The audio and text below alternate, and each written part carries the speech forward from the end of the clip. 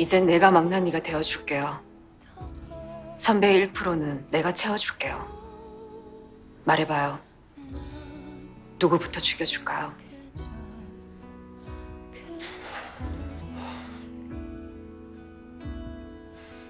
이젠 선배가 흙 잡는 거예요. 처음이니까.